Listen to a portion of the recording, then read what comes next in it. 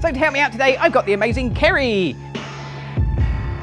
You can see she's not having the best of days, but it's going to get worse for her as the shoot goes on.